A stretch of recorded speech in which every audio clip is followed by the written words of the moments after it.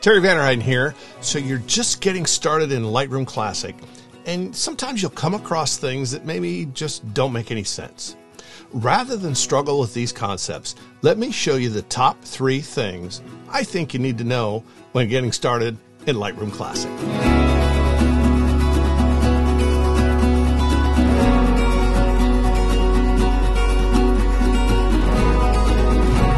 These tips aren't in any particular order, and these are my top tips for the beginner trying to get into Adobe Lightroom Classic. First off, Adobe offers us a few different options when it comes to Lightroom. There's Lightroom Web, Lightroom, and then Lightroom Classic. On my channel here, I teach Lightroom Classic. Lightroom Classic can only be used on your computer, and I feel this program offers the most options.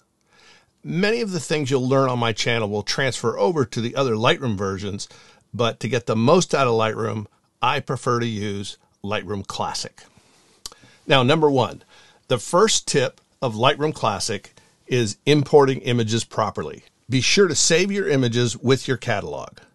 The process in Lightroom Classic is to import the images into Lightroom Classic, usually from a card straight out of your camera, and load them into a catalog. When done properly, the Lightroom catalog knows where your images are. Keeping in mind, the Lightroom catalog is a database of all your images. It references your images. To make a, uh, a policy of importing your images into the same folder that your catalog resides will reduce the possibility of you losing your images later on. Take these steps to make sure you're importing correctly. When importing, make sure of three things where the images are coming from, how you're going to transfer them, and arguably the most important part of importing is where are those images going to be saved.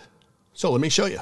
So we're in Lightroom Classic here, and you can see this catalog has no images, no photographs at all. So we're going to go to import. I have a card already put into the uh, card reader that I have attached to the computer and we'll come over here and we'll see, we'll, we'll click on five of these images here of my dog.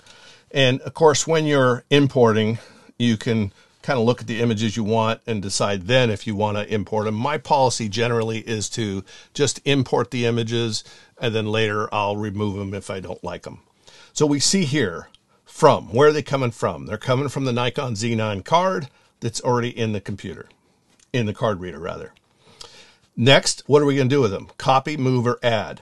I prefer to always use copy because I'm going to copy them from the card onto my hard drive. And I don't want to move them because then they won't be on my card anymore. If you do that, sometimes you can lose your images.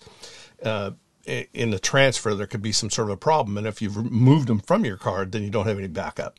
So I'm kind of using this as a backup. So I always copy the images and I don't bother using copy as DNG. I just copy them as raw files straight from my camera. Then I come over and say, okay, where are they going to go? And in this case, this defaults to the to the uh, Macintosh hard drive, and that's not what I want to do. So I'll come down here to destination, click this little triangle, and here is the hard drive. See, a lot of times they'll put it right here in pictures inside your hard drive. And in this case, I don't want to do that. I have an additional drive hooked up to the computer, a little transfer drive, and that's called photos. So that's where I'm going to put things. I'm going to put things inside of that folder. So I have this clicked and I'm going to put them into the test LRC. So if we look at the hierarchy here as we go into the photos, you'll see I have a folder called test LRC. Now you can name your folder whatever you want. You could name it nature 2024 or you could name it family 2024, whatever you want to name, whatever kind of images you want to shoot and you like in its own catalog, that's where I put this folder. So as we click in here, we can see that I have the catalog is all set. All right. So I've built the catalog and left it in here in this folder, test LRC.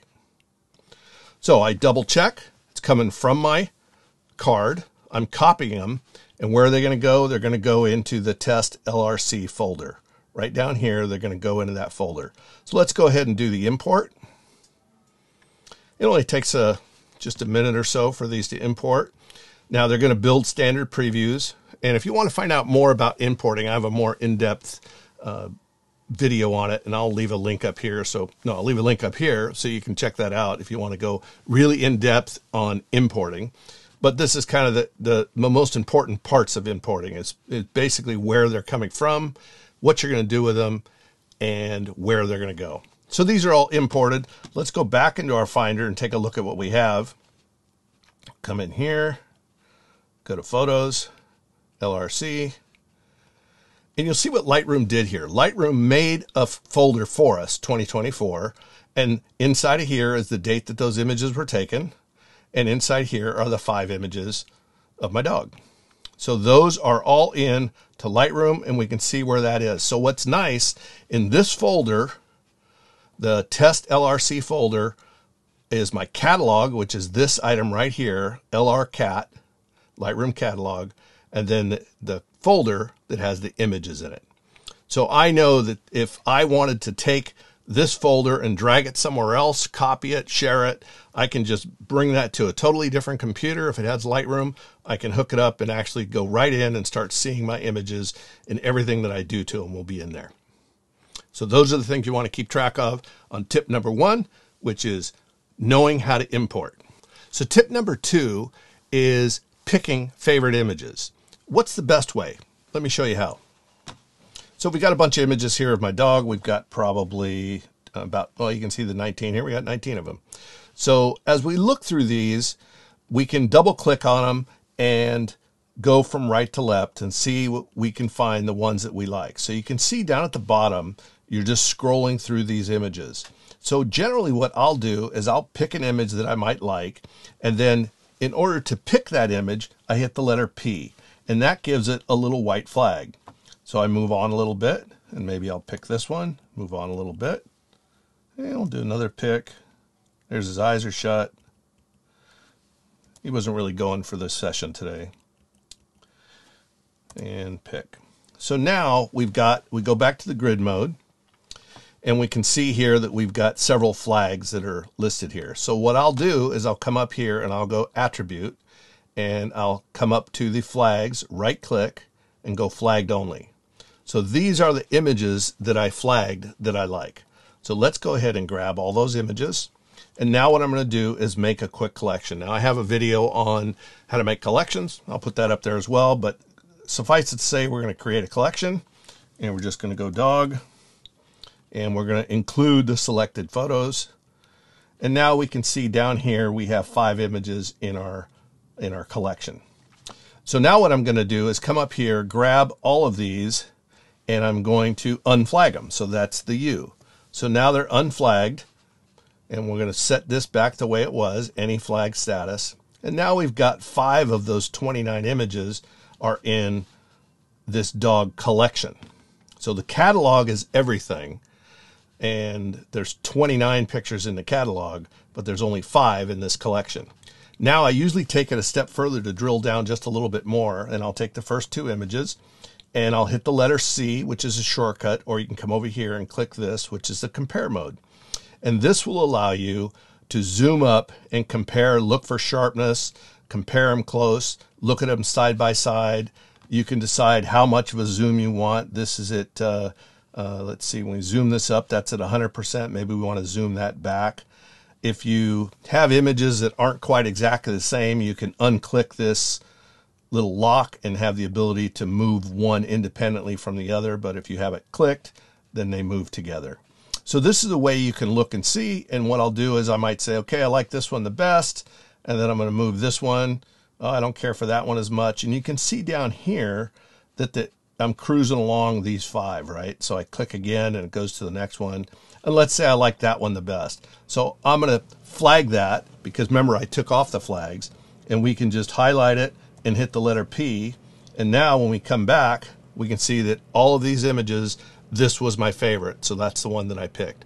So that's an easy way to get around choosing, simply choosing your images and figuring out which ones you like the best.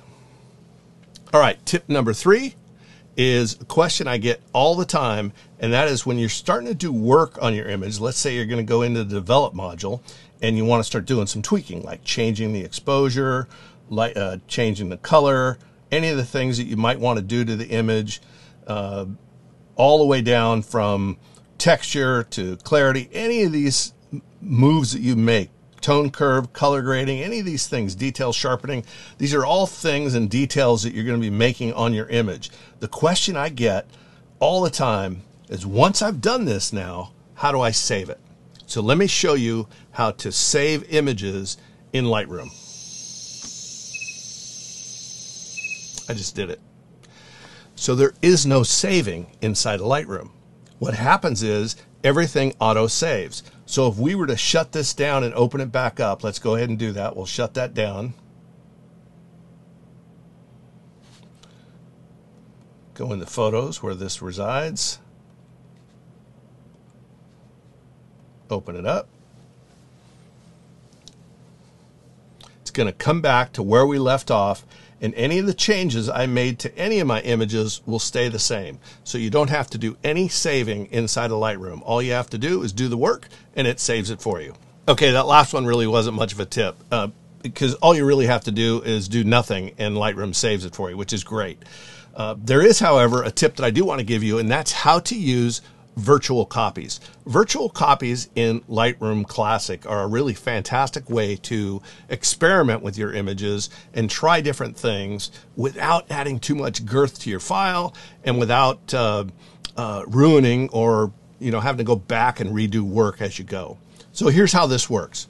We take an image and we right click and we go down to create virtual copy.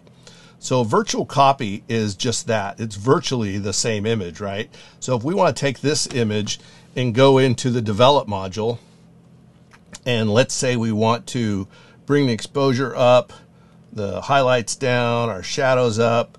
Let's say this is how we want to do this. So it's great because now we can compare to our original and we can just do the compare mode that we just did and you can see the difference what it is that you're doing on your image how you're comparing it. You can use this in sharpening. You can use it in all kinds of different any kind of aspect that you do you make a change on your image and that's going to be to that virtual copy. But here's the thing that a lot of people don't get. In the virtual copies people are thinking wow if i keep adding more images it's going to take up a ton of space. Well it really doesn't. So let me let me show you what's happening i'm going to delete this one real quick going to remove, see, note, note this here. It says remove from Lightroom. So we're going to remove it from Lightroom. So we just have these 10 images. So let's go ahead and go back into the Finder and take a look at something here. Those images, when we loaded them, there's some from 2023 and they go in their own folders as to when they were shot and then some from 2024. So as we look at this, if we go into this main folder here and we right click and get info to find out how big this file is, we can see that this is 627 megabytes. So let me go ahead and screen capture that so we can refer to that later. All right. So now let's go in here and let's make a, let's take every one of these and we'll go ahead and make virtual copies of all of them. Let's go ahead and make a virtual copy. So now you can see that instead of the 10 images we started with, we now have 20 each one has its own virtual copy. And you can tell it's a virtual copy with this little triangle next to it. That way you know that that's a virtual copy and not an original file. So let's say, for instance, we wanted to do some work on this, whatever it is we wanted to do.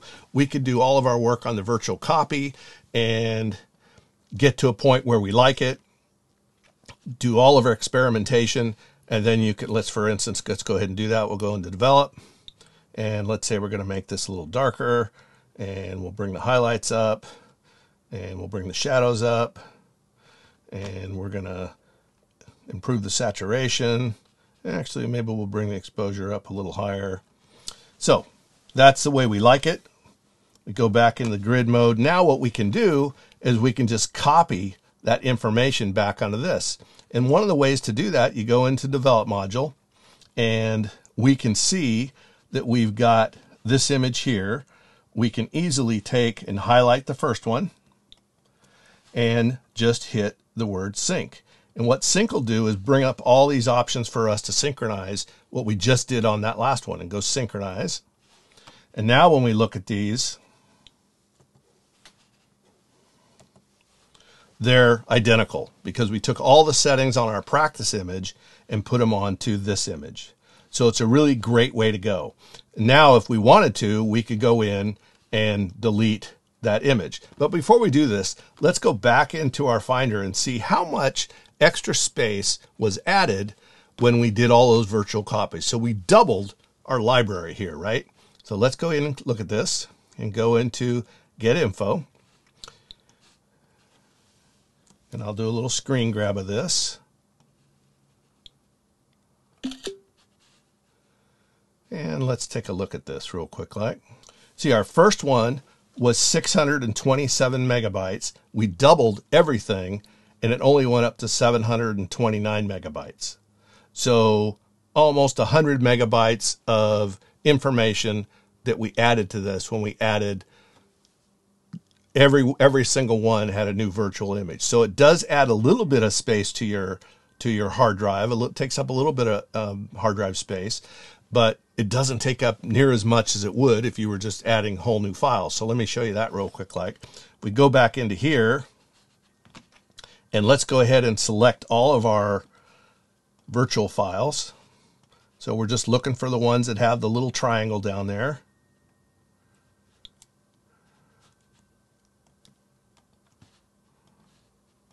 And we'll just hit delete.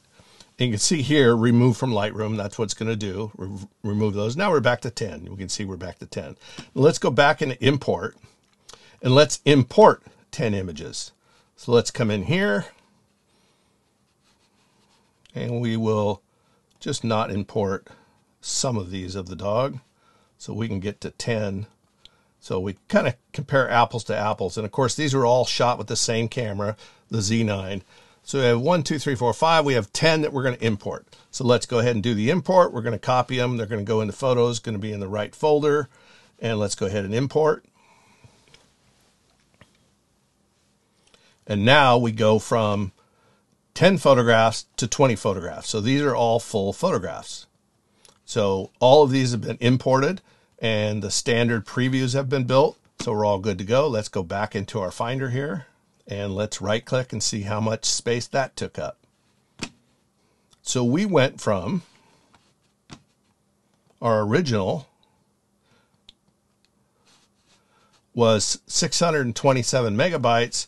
Now we've gotten into 1.1 gigs. So that you can see it takes a lot more space when you add on, uh, when you actually import images. It takes a lot more space. So the fact that you're making, taking images and making virtual copies, it's a real simple process to practice and try different things and changing whatever it is you want to have. Here's something that's just a fun little reminder. So let's say these were the 10 images that we wanted and we wanted to delete those. We hit the delete button and now look what happens. Lightroom says, do you want to remove them from Lightroom? So that means that Lightroom's going to keep them on that hard drive if you want them, or do we want to delete them completely from the disk? So in this case, we're going to completely delete them from the disk. So let's go ahead and do that. So those are my most important tips that I think any beginner should know. How to import, how to find their images, and the one bonus tip of how to use virtual copies because that's a great tool to experiment your development with. There's a lot to learn in Lightroom Classic.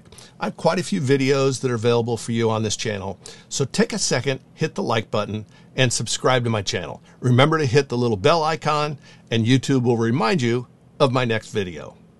Now, if you have any questions or comments about any of the content you see here or anywhere else on my channel, feel free to leave them in the comment section below because I read all of the comments and I respond as quickly as I can to all of them. If you'd like to get a hold of me directly with questions or suggestions, you can always email me at terry at imagelight.com and I'll respond that way. There's a couple ways if you really like this stuff, you'd like to support the channel, you can visit my digital products page where you can find Lightroom brush presets. And I also have a very popular photography book, Razor Sharp Nature Photography for sale exclusively on the website. I'll leave a link in the description below so you can check that out. I also do private classes if people want to do it. They can do Zoom or they can do them in person. So if you want to do that, go ahead and contact me by email, terry at imagelight.com, and I'll be happy to tell you how that all works out. Thanks for watching. See you next time.